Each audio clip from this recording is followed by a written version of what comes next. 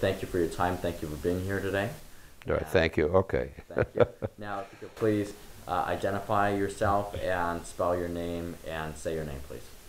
All right, well, I'm Zvi Dershowitz, Z V I D E R S H O W I T Z, but frankly, on my passport, you'll find the name Hugo, H U G O, instead of Zvi. Tzvi is my Hebrew name, and that's what the world knows me at. So you mentioned your your uh, passport and how you were born. So when and where were you born, and what was life like for you as a child? Well, I was born in what is what was then Czechoslovakia, now the Czech Republic. By the way, the uh, New York Times today had an article that the Czech Republic wants to is looking to change its name somehow to Czechia or something like that. But that's another story. I was born in 1928. That tells you that I'm a youngster. and uh, uh, the, uh, the life there was uh, good until things happened. All right. Well, let's before quickly we talk about when things happened. What was your favorite childhood memory? Childhood memory was that I had a wonderfully uh, rich family, and I'm not talking about money. I'm talking about culture. I'm talking about uh, happy uh, life Jewishly, but also in sports. I used to play soccer. My parents sent me to ski when I was eight years old in the Carpathian Mountains with a group of kids. I was the youngest of them. Um, and a Jewish identity, the synagogue every every week, and uh, very happy, very happy times. Okay, so now let's talk about the not so happy times. You did flee your country. How old were you when you fled? And tell me about the day your is it parents or both or your grandparents told you your family had to move out of the country. Well, what I'm going to tell you, I didn't know at the time. I found all this out later. All I know is that uh, uh, Hitler had already taken over Sudetenland, part of Czechoslovakia. We did not live in that part. Uh, but certainly the Hitlerian uh, threat was all over. As a matter of fact, I lived in an apartment house on the third floor, and the roof was right above us, and the Czech government put anti-aircraft guns on the roof of my house, and I heard the boots, so we knew, and, and uh, it was a very democratic country, so the people who were Nazis were allowed, because freedom of speech, they were allowed to parade through the streets uh, pro Hitler and freedom of speech. They were allowed to do that, even though the Czech people were very angry at it. The government said, no, this is a freedom to do. So we knew something was coming, but we didn't know what was coming. And so then what were you told when you had to leave? Did your grandparents tell you something? Or? Well, my uh, later on I found out that, uh, look, anti-Semitism was uh, not new in, in Europe. And uh, my, uh, my parents, my father had come from Poland, which was then Austria-Hungarian Empire, uh, not very um, uh, friendly to Jews many times. So my grandfather apparently, I found this out later, called my dad and his brothers, all his kids together, and he said, "Look, this guy Hitler is got to be is different from all the other anti-Semites." Uh, and he, he advised them to leave. And we were well-to-do in, uh, in Czechoslovakia, and to, to leave was, that's impossible. How do you leave a beautiful country, a beautiful culture? You're well-to-do fiscally, but uh, they took their father's advice. And how did you feel when, you when you were told you had to leave, though? Well, all I knew was that we were going to another place, America, and I was told I mean, I found out about a month or two before. I can't tell you exactly. I was told not to say anything to anybody when the when the house was being the, apartment was being cleared out and the maids were gone uh, because we would be the laughing stock of everybody else. Why? What are you leaving? So what? Uh, we've handled anti-Semites before, uh, and uh, so we're told to keep silent and not to tell any of my friends. And interesting. And how old were you when you were told this? Well, uh, about 10, 10 and a half. And Who did you leave behind? Everybody, everything. Your friends? Your... My grandparents uh, were too old to, to, to make the trip, but uh, uh, all my friends, I mean, I have a photograph someplace of all the kids in my class. You know, you take at the end of the school year, you always take pictures. And later on, a lot of research years later, I found out that only two of us survived. All the other kids in the class were murdered. Um, now that we've discussed who you left behind, let's discuss your journey to America. What was your journey to America? What were the steps it took to get to America? Yeah, yeah. Well, my parents got a legal visa to come to America, even though Jews were not being given visas, especially Jews of Polish citizenship. My father had been, the Czechs never allowed my father to get Czech citizenship. He was, um, but somehow the family, the Dershowitz family here in America, and I don't know all the details, not important really for this purpose, they somehow finessed the system and they managed to get visas to, for my parents. And when we went to Prague to the American embassy to get the visa, we had to keep it a secret. Uh, nobody knew about it. We had to kind of uh, uh, be sure that nobody was following us, uh, you know. Uh, but uh, we got it, and eventually we left Czechoslovakia on December 31, 1938, and went into what was at that particular moment Poland, stayed there for a month and a half until we boarded the ship. Interesting. And what was the experience like on the ship? And I just want to make sure that. What was the. Oh, the ship was uh, a regular, uh, I guess it was a tourist ship. The name was the MS Batory. B A T O R Y. I remember that name. Oh, so it wasn't some refugee ship. You were on a nice cruise ship. On a nice, nice ship, right? Not a refugee ship. Nobody knew. There were no no refugees were allowed into America. There was no. Uh, as a matter of fact, I can, you know, historically we know that there was some Jews on a ship, and they were turned away back to Germany, and they were slaughtered in Germany. America wouldn't let them in. Hmm. And how long did it take you to get to America? Well, I stayed in Poland. You see, nobody knows this, very few people know that Poland took over part of Czechoslovakia at the time. They took advantage of uh, the Nazi threat to Czechoslovakia. So my grandparents were living in a town called Těšín, which was the Czech part of Těšín. But when I got there, it was Poland, even though it had been Czechoslovakia. So we stayed with my grandparents for a month and a half, and then we boarded the ship uh, in February. And it took 11 days to get to America. We got here February 13, uh, 1939, and uh, Hitler took over Czechoslovakia 33 days later. And you mentioned seeing your grandparents before you left. Was that the last time you saw them? I didn't know it would be the last time. But now looking back, uh, it was the last time. I'll never forget the farewell, the goodbye. But the assumption in my childhood mind was that, okay, we'll see each other again. And that's very painful to talk about even now. Sure. Well, I should ask, were there other Jews on the ship with you? Uh, there were, I, I couldn't tell you what religion they were. I saw people dancing at night. I saw music and a band, and it was a, like a regular cruise ship. And it must have been for wealthy people because in those days, not a lot of people had money to go on a cruise ship. Um, okay, so uh, were you homesick at all? Did you miss your native country upon coming to the United States? And what were you looking forward to the most about coming to the United States? Well, see, I had great support from my parents um,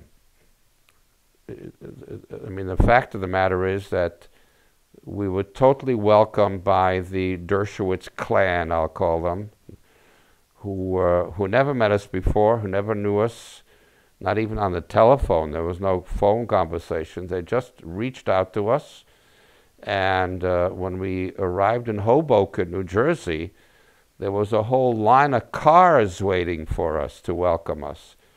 So they, the, my cousins, and it, it, it was like I was coming home. They were just so welcoming. I didn't speak a word of English. They spoke Yiddish. I spoke Yiddish. I really don't remember exactly how we communicated. Uh, but uh, I had to adjust to a new country, a new culture, a new language, and we did it because my parents were very positive and optimistic looking people. Fascinating. Now, I want to talk about so your incorporation into the United States. How did you feel when you first got to the United States? And for instance, was it a feeling of excitement, of sadness, or neither? Yeah, you see, uh, when I was a kid, I told you, you know, my parents sent me one summer to Yugoslavia. Uh, I had visited Poland. I had visited a few other countries. So for me, it was exciting to just be just in another place. And uh, the question was, uh what trolley car do I use to go where in Brooklyn and Williamsburg? Is there a subway? How do you get across the Williamsburg Bridge to, to you know, I mean, the challenge was this, with so. Uh, the, the issue was that I didn't know how come we didn't hear from my grandparents. The, the issue was that there was no thought about picking up the phone and calling my former friends. You know, there was no such thing as international calls that we understand it today. So there was no such thought. The only question was, how come we don't hear? And then we heard, of course, that Hitler conquered uh, Czechoslovakia just 33 days after arrived, so we knew that was out. And it was painful. It was painful. Yeah. I'm sure. But moving on to when you first lived in, that, in the United States, you mentioned your Dershowitz cousins and extended family took you in. Um, what was that like? How long were you living in their home, and when did you when did you start living on your own as a family? My father was a very proud man. He had been a very successful businessman in Brno, where we lived, B-R-N-O, the city. And when we came here, we came with nothing in our pocket.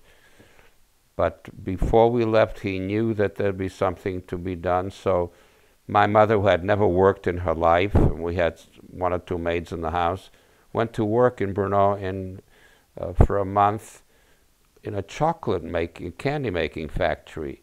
They planned it all out because three days after we arrived here, my mother, my father found a tiny little apartment, and my mother started making candy in the kitchen. And my father bought empty candy boxes. So right away, my father was a uh, uh, just would not rely on didn't want to ask anybody for help. He right away went to work uh, selling the candy that my mother made in the kitchen. We, we even had a kind of an extra room where we rented it out to other people uh, so they can pay the rent and uh, went on from there. Interesting. Excuse me. That, by the way, they eventually then my father went and bought some ladies' uh, uh, dresses and sold them together with the candy and made more money that way, door to door. Interesting. Now, did you feel like a stranger? Did your parents feel like a stranger? Were you received well by the general public? Well, I, I did not feel like a stranger because I was surrounded by uh, those cousins. They called me the greener, a greenhorn, and that means a refugee. You know, I was the immigrant, the greener. There's no question about it. Did I, that make you feel like a, like uh, an outsider?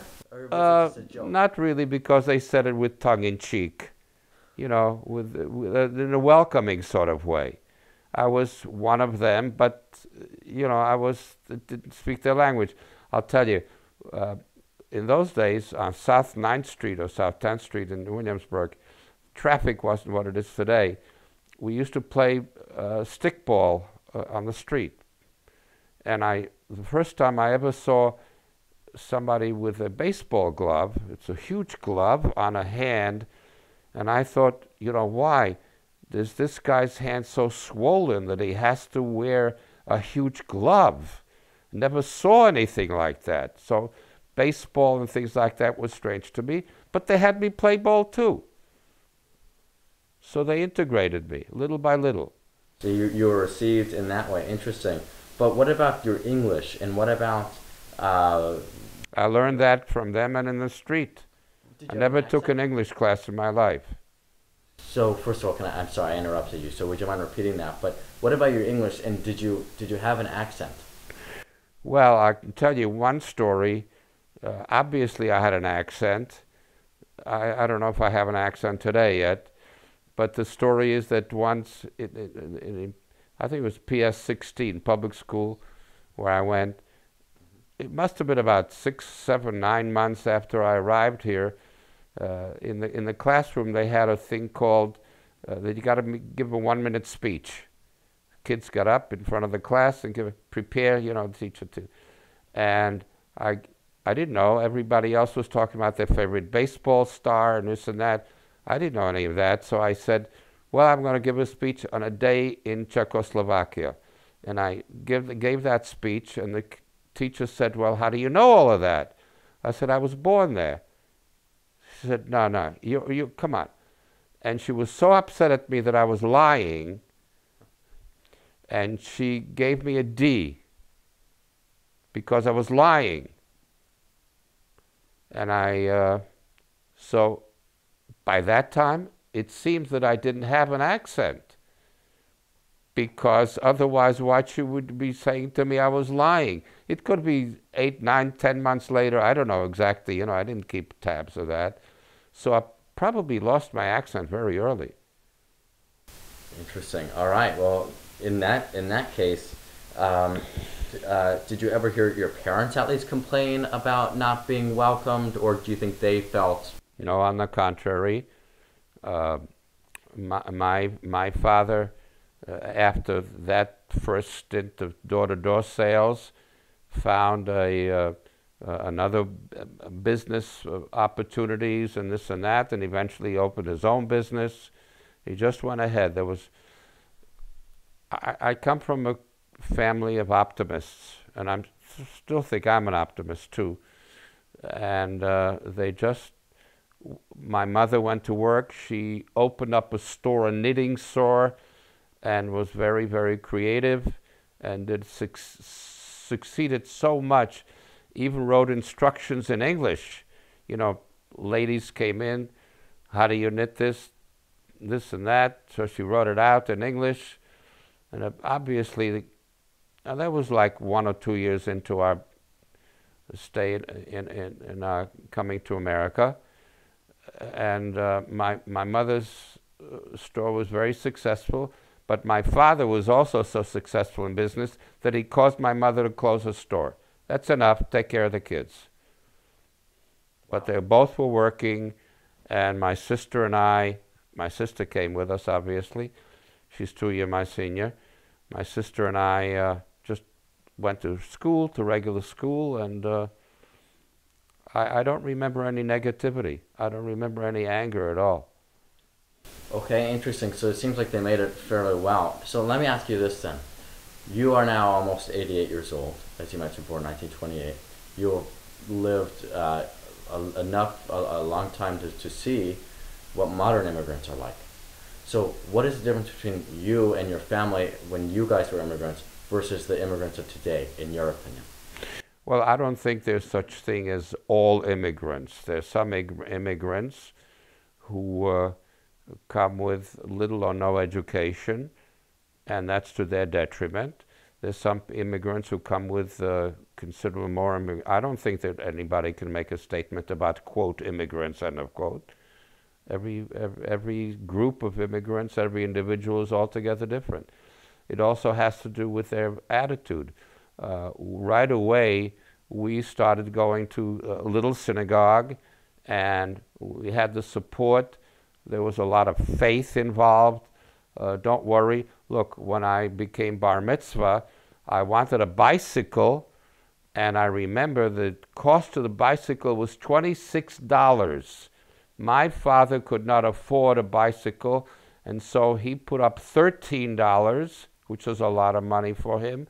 And my uncle uh, on my my mom's side uh, put up another thirteen dollars, and I was able to get a bar mitzvah gift of a twenty-six dollar bicycle. That was it. The only other the party was six couples coming to my house after after I was in the synagogue, and we had a little bit of wine and, and cake or something, and that was the that was the bar mitzvah party. I mean, that was, It. but we, we had faith, we had optimism, and we just went ahead. We worked hard. My my parents worked hard, and they saw to it that my sister and I got an education. That was the focus. And that's that's nice. But let me tell you a statistic, and I want to hear what you say, because I don't want to generalize about immigrants. But I should tell you, 85% of modern day immigrants are, either come from Asia, Latin America, or the Caribbean.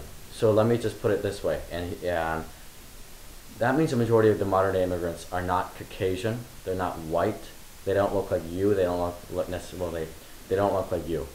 Do you think it's harder for them to integrate into American society because of this? That they're not. Well, happily, America is the country where uh, everybody who comes in uh, uh, properly or legally is certainly welcome, and the opportunity is for anybody, the equal. This is an equal opportunity country. Uh, by the way, even people who come in uh, not legally are welcome. Uh, they, they, have a right, their kids have a right to go to school, people go to work, so it's a question of the initiative on the part of the individual who comes, whether he he's black, white, yellow, uh, whatever color, it doesn't matter. Uh, it has to do with his approach to want to be uh, successful and work hard at it. My father worked day and night. My mother worked day and night until things went, went fine. So uh, if anybody, else, if the other people want to do the same, the opportunity in America is there, as far as I'm concerned. So, what advice would you give to? Doesn't I don't want to generalize, but just any modern day immigrant. What advice would you say to him or her? Well, number one, uh, gratitude for being here. Number two, uh, rely on uh, uh on the society, which is essentially welcoming to you. That doesn't mean there aren't. I mean, there are anti-Semites also, that doesn't mean I'm going to stop doing what I'm doing. But there are people who hate blacks, there are people who hate Asians, there are people who hate Jews, but that should only stimulate them to do as much as they can to overcome that. There's never any perfection. Only Garden of Eden was perfect, and we were thrown out of that perfect world. We're not in a perfect world. So we accept that, and we, instead of anger, use your energy to uh, do whatever you can to succeed. Interesting. So, I and you in your career, I know, have actually done a lot to welcome people from foreign nations. Um, can you go and elaborate onto that? Well, I certainly am very sensitive to the fact that uh, uh, I was a stranger in a in a welcoming land, and uh, to the extent that I was able to, uh, I saw to it that other people welcomed here as well, whether they're Jews from Russia or Persian Jews, you know, Iranian Jews, or anybody else. And as you well know, my wonderful wife, whom I miss a great deal, uh, was totally involved in interfaith work, whether it was with Muslims, a very good friend. An imam from a local mosque is a very good friend of, of, of my wife. He was a guest at my house here on this couch, and uh, if it's Muslim and they're decent people, then we welcome them. I want to deal with decent people. I don't care what uh, uh, faith or religion there are, as long as they're decent. And but then they're didn't not decent. I don't like them. Okay, so and but you but do you not want to go into specifics about about people you worked to ensure safety and security into this land. Um, I won't say anything if you don't want me to go into specifics, but you know, when you were. Well, I mean, there the Jews who came from Iran ran from uh, horrible persecution. They were, uh, they were very welcomed by the Shah of Iran. Not that all, uh, uh all uh, uh, Iranian Jew Jewish history is good. There was a great deal of Jew hatred at one point, but in more recent times with the Shah, they were good. And then Khomeini came and hates Jews, so they ran. And uh, I was in a position to work with some congressmen and senators. And because when they came here, suddenly, uh, suddenly with no notice, came on a three or six months visa.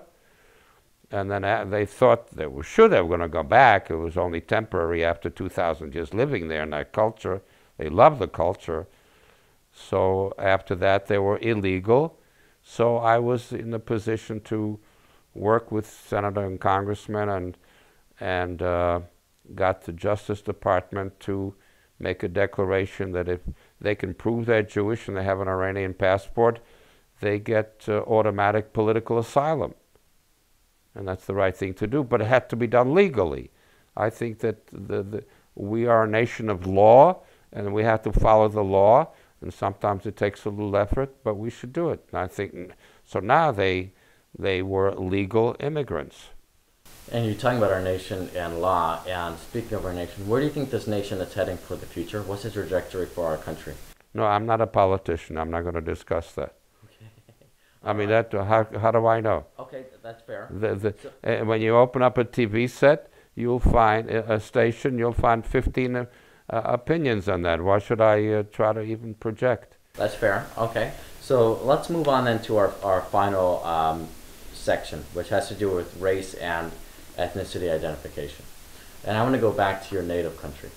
Was race, did you even know about race when you were in, in Czechoslovakia? And, and how did you identify racially or ethnically? Well, I very strongly identified as a Jew. As a matter of fact, in Czechoslovakia, you had to register as a Jew with the government. You had to register as a Jew. So it's not only it's they made you do that. I mean, for positive purposes, I think, as far as I know. And uh, uh, I, I, never met anybody in my childhood, as I recall, who was not white, because that was a white world then. Um, and then uh, only in America was I exposed to these things. Uh, uh. And then how did that change your mindset once you were exposed to other people who? No, you know, I, um, I as a Jew, I believe very strongly that uh, God made all of humanity, and uh, it matters very little to me what color you are. It does matter to me whether your culture says uh, to hate other people or not. And I don't care whether you're white, black, or yellow. If you're good to other people, then I want to be good to you. If you're not good to other people, I'm going to resist you. Period. Look, uh, in, in the Jewish tradition, uh, there's a very important concept. Uh, why, if God made, uh, uh, in, in the story, 10,000 horses and 20,000 sheep and whatever, why did he make only one human being, Adam? So that nobody could say that my predecessor is better than yours. We all come from the same source, and we all have to treat each other equally. That's what Judaism teaches. But that's nice about that's nice about Judaism. We're all from the same source. But eh, okay, but do you feel that it was easier for you to incorporate into American society because you were uh, a, a white? You know, I didn't incorporate into the society. My parents did.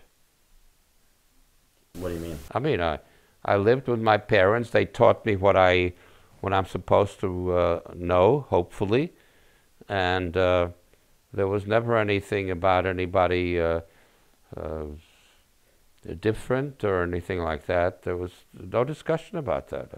So, had you been, let's say, let's say, let's just throw out a uh, scenario that you had not been white and you had been another race do you think it would have been this, you would have had the same experiences in America? And did you meet any immigrants who perhaps were not uh, white? Yes, and I, uh, I mean, to answer your second question, of course I met people who are not white, and uh, I see no reason why uh, society should not embrace them as they embraced everybody else. I had the benefit of being embraced by a very, very strong family situation and we went from there. um, to the extent that they have family values, and whether you're uh, black or, or uh, anything else, uh, you have to rely, first of all, on those people who are close to you. And hopefully, everybody has that support system. Within each community, whether it's synagogue or church or mosque, they should work hard to embrace the people in their culture because the people in their culture go to those places and that they feel they feel easy in those places they feel comfortable a catholic will feel more comfortable in a church than he does in a mosque or a synagogue so let the church reach out as synagogues reach out to jews and so on and families should reach out to their families Okay, interesting. And speaking of religion, let's segue into our, the final questions here. How did your immigrant experience affect your religious identity? And you haven't touched much on your career as a rabbi. So how did you didn't ask me? I know. I so how did it, how did how has it affected you over time? Well, I feel very strongly that.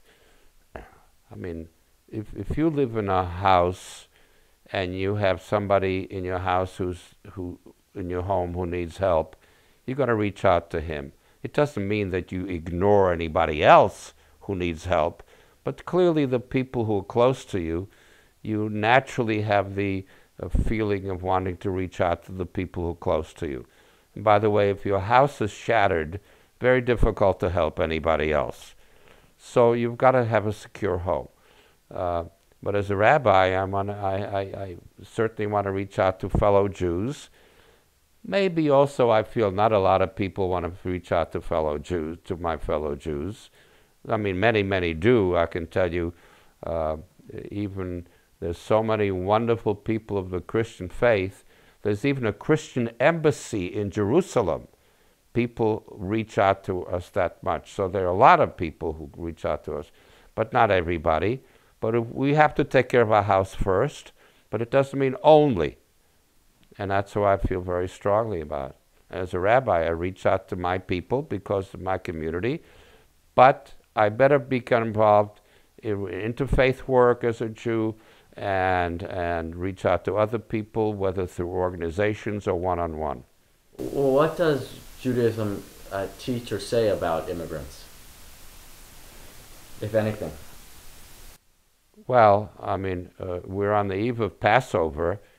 Uh, who more than Jews could say? As a matter of fact, I can tell you that in the Torah and the Bible, uh, at the time of the Exodus, there is a very interesting uh, thing to note that the Bible lists various commandments that we have to follow, not just the Ten Commandments.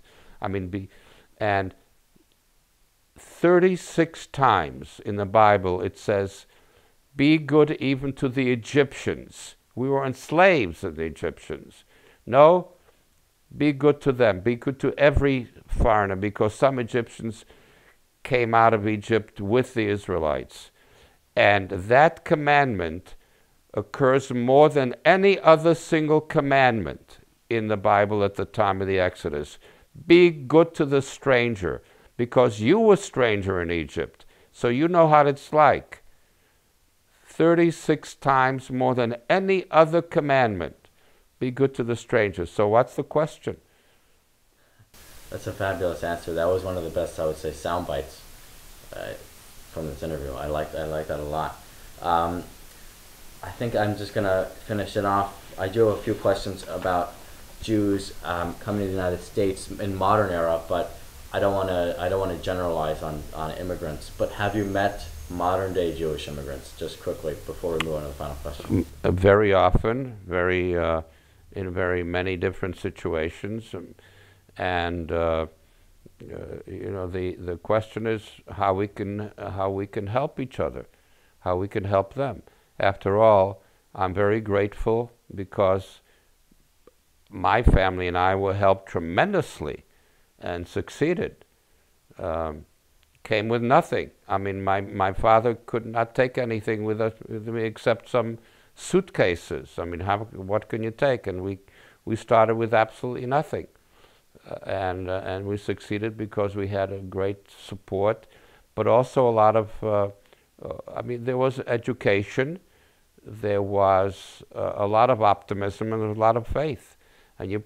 No one thing does it for you. And by the way, I would assume some luck as well. But you know, my father was a very hard-working man, and but he never let my sister I have any feeling of depression or anger he brought us up, no, you have to be grateful for what you have. Uh, uh, and he said, uh, uh, Baruch Adonai Yom Yom. Thank God every single day. That was his phrase every morning.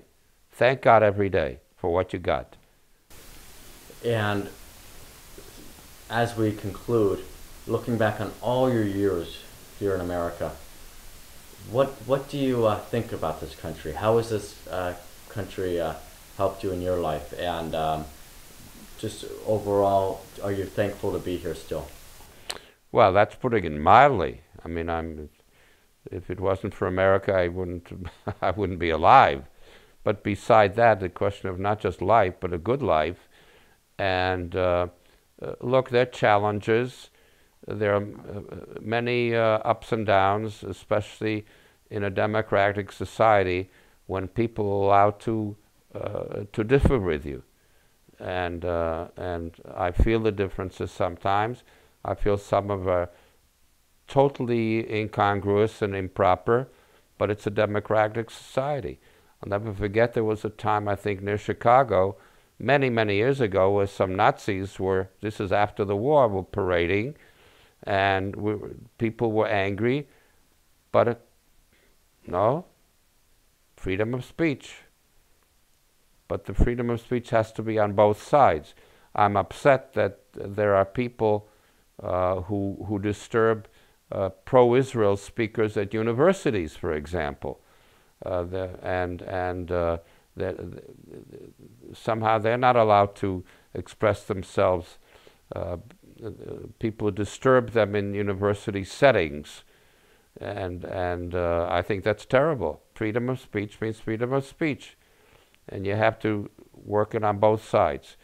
And it's a, it's a good country to live in. Let me tell you, uh, I don't know of any other place that has so many opportunities for so many people.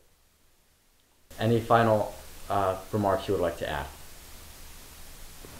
Any final things you would like to add about this country or about anything before we conclude? Well, yeah, we we have to uh, we have to have a deep sense of appreciation for uh, uh, for, for the forefathers of America, how they created this country. They created it at times when freedom was really not uh, not uh, the popular thing to do. I'll never forget the story of uh, Peter Stuyvesant in what was then New Amsterdam when he tried to turn away Jews who, who migrated there, just a, small, tiny little group. And then it was the uh, Dutch East India Company, where there were Jews involved, told him, hey, Peter, if you're going to turn away these Jews, we're going to fire you. So Jews were welcomed by Peter Stuyvesant and uh, that was one of the one of the many beginnings of Jewish uh, freedom in in America. And I hope it's that true for everybody, whether you're Jewish or black or white or whatever faith, or even an atheist. You know, it's free. That's what counts.